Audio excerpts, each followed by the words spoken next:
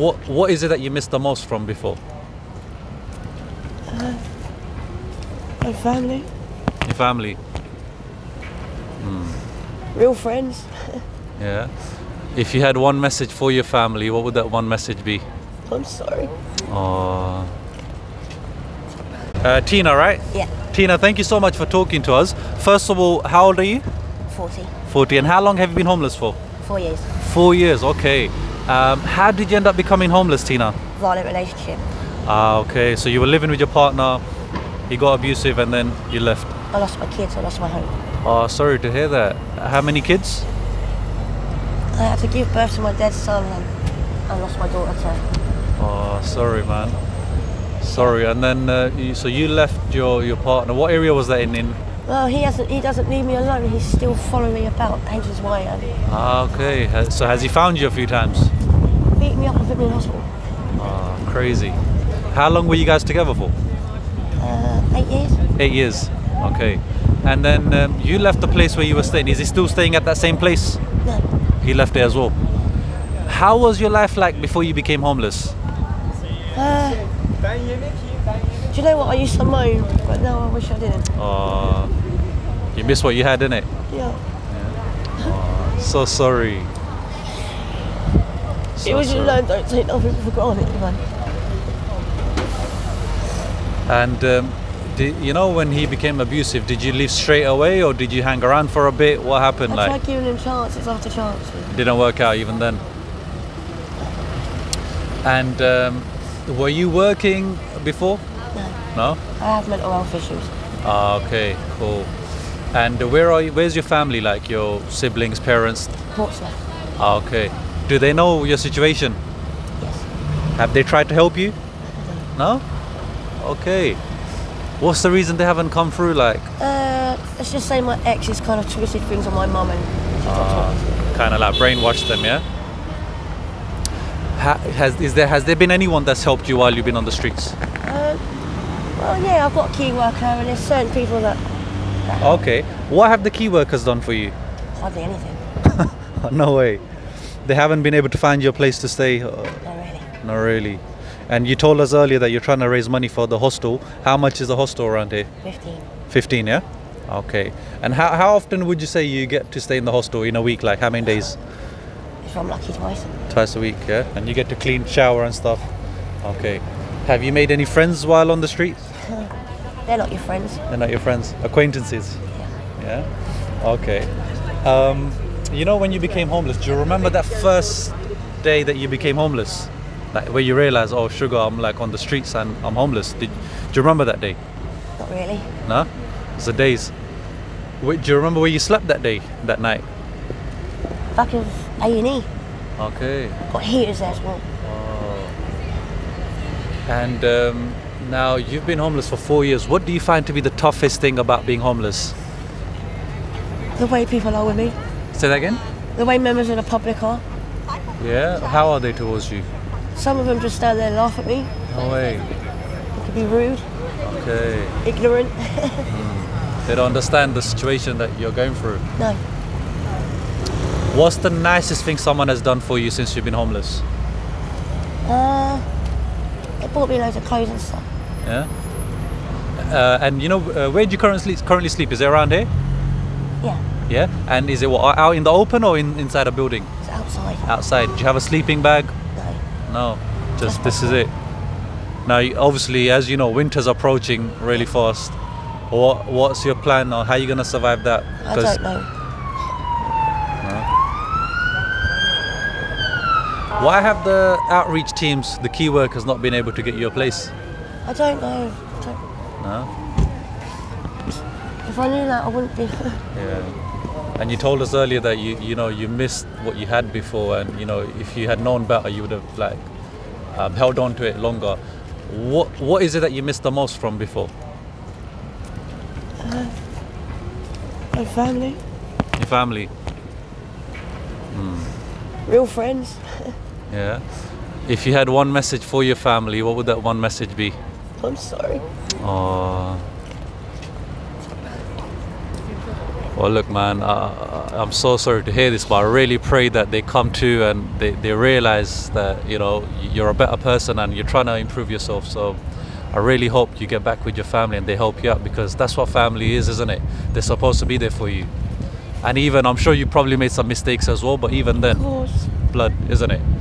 Um, now, you've you've been homeless for four years, and you said you're sleeping locally. You said that the toughest thing you find is the people walking past you. How have other homeless people been towards you? To be honest, if I don't give them what they want, I get bullied. Oh, they bully you. Like the man at Lidl's is done nothing but sits there and he stares at me. Ah. and you literally got no one that can help you. Trust anyone. That's heartbreaking, Tina. It's heartbreaking. All I've got is these people. Yeah. And I'm sorry that, you know, chatting to us is making you so emotional and you're crying. It's really really breaking my heart. What is it that's making you so emotional? I don't know. Uh, Talking about things. yeah. Not many people stop and speak. Yeah. Is there, has there been any days where you didn't even get to speak to anyone? There's been then days like that? What about your friends? Did, did they not come help you? Because you seem like a really bubbly type of person. Friends, but No, but some your, of them are drug users. no, your friends from They're before though. From, my hometown, yes. But do, do they know you're homeless? They do, yeah. They haven't even come to help you? Don't expect them to come all the way up help me. I'm a recovering alcoholic. You're current al- alcoholic, yeah? Okay. Um, has that, what part has that played in you becoming homeless and staying homeless? Nothing. Yeah, yeah? Okay, that's good. Um, what makes you happy? Music. Music, yeah? Okay. And what would you say makes you sad? Um, how people are. Yeah? And what is it about people that makes you sad? Like, well, how are they? How they can be so rude and nasty. Hmm. You don't know me. Yeah, they don't know what you've been through. You're adding to my suffering. And so, and say they knew your story, how do you think their perception would change? How would they? Do you think they would change it, behave in a different way? I don't know. You don't know. What's been the meanest thing that someone has done to you since you've been homeless? Threw food at me. Say that again. Threw food at me. Ah, madness. So just walking past you and chucking food at you. telling me to get a job. Has there been anyone that has actually bought you food? Yeah. Yeah, there's nice people out there.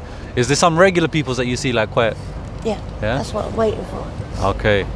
And um, if you could go back, what's the one thing you would change?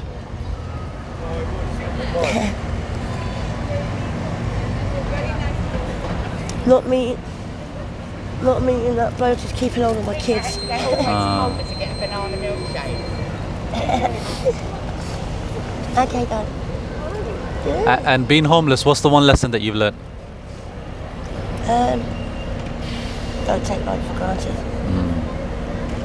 So yeah, I might not have much, but some people have more than others. Yeah. What's the one thing you're the most grateful for right now? My health. Your health. Okay, brilliant. And that's just coming to the end. If you could get one wish, Tina, what would your one wish be? Um, for this all to be over, have my kid back in my life. now.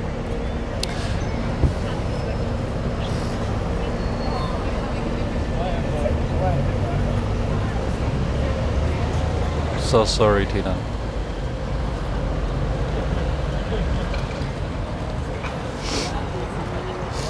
Well, look, um, I apologize for making you cry, but what could we do to put a smile on your face? What's the one thing we could do right now to put a smile on your face?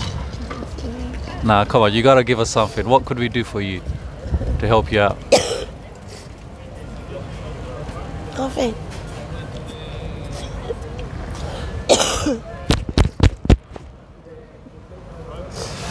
You know, if you had one message for humanity, for everyone that's gonna watch the video, what's your one message to everyone?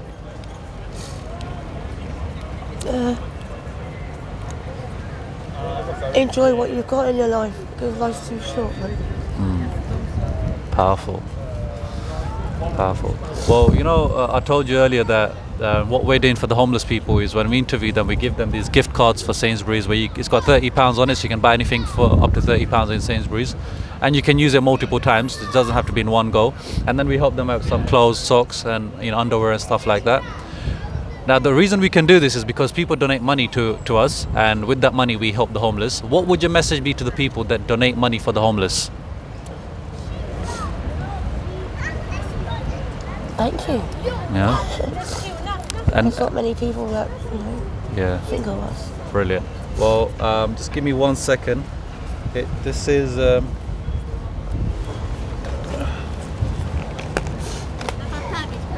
this is for you. Okay, it's a Sainsbury's gift card. It's got 30 pounds on there. Okay, Thank so you. you can buy anything for up to 30 pounds from Sainsbury's. Uh, yeah, and you can go to any Sainsbury's in, in London, yeah, and you can use that. And uh, do you need any socks? You do? Okay, that's fine. Okay, we're going to give you that now off camera, yeah? But thank you so much for your time. And I honestly, genuinely, sincerely pray that your situation improves. And uh, the amount of tears you cried today, I hope you get even more smiles than that. And you have a happy life the rest of it. Thank you. Yeah? God bless you.